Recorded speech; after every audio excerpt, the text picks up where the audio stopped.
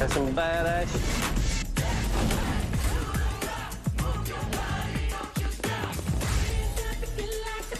That'll clear out your sinuses. New Moonshiners, Wednesdays at 8 on Discovery.